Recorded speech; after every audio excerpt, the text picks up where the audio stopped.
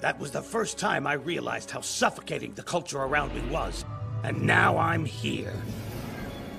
Wow, cool. So you're basically an empty cosplayer. That's right! I'm still completely empty!